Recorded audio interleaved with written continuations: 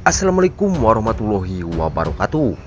Halo guys, jumpa lagi dengan Bang Mimin yang akan membahas dan mengulas alur cerita sinetron terpaksa menikahi Tuan Muda untuk episode selanjutnya Rabu 29 September 2021 Yang di mana pada saat David temukan bukti kejahatan Amanda Karena dari awal David sangat curiga sama Amanda.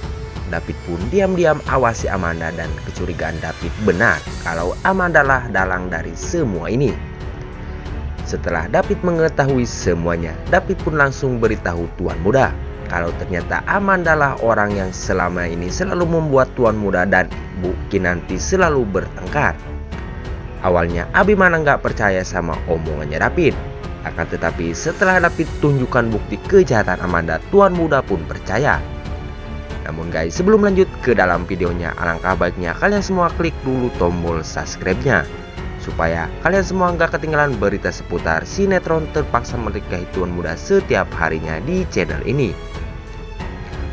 Seperti di episode kali ini, Abimana sangat marah kepada Amanda setelah Abimana mengetahui yang sebenarnya kalau ternyata Amanda telah merencanakan niat jahatnya kepada Kinanti dan juga Abimana. Amanda pun tak bisa berkutik setelah David bongkar semuanya kejahatan Amanda kalau selama ini Amanda mencoba untuk memisahkan Kinanti dari Abimana. Kini Amanda pun hanya bisa menangis dan menyesali perbuatannya. Akan tetapi Abimana tak bisa begitu saja untuk memaafkan apa yang sudah dilakukan oleh Amanda kepada Kinanti dan juga Abimana. Di adegan lainnya, Oma bilang kepada Abi kalau Reno telah mempermainkan dua perempuan sekaligus. Mendengar semua itu, Abimana pun sangat marah kepada Reno karena Reno telah mempermalukan keluarga Sudirja. Anita yang tak terima melihat anaknya dimarahin sama Abimana, Anita pun mencoba membela Reno. Tetapi Abi malah memarahin Anita kenapa kak kakak selalu aja belain Reno yang selalu menjadi biang masalah di keluarga ini.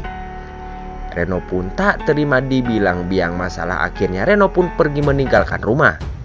Nah guys, sepertinya Abimana yang sudah mengetahui kejahatan Amanda, Abimana akan pecat Amanda menjadi asisten pribadinya. Nah guys, bagaimanakah kelanjutan sinetron terpaksa menikahi Tuan Muda untuk episode selanjutnya? Jangan lupa saksikan terus sinetron terpaksa menikahi Tuan Muda yang tayang setiap harinya pada pukul 15 17 waktu Indonesia Barat. Oke sekian dulu sekilas informasi dari channel ini. Terima kasih banyak dan sampai ketemu lagi di video selanjutnya. Wassalamualaikum warahmatullahi wabarakatuh.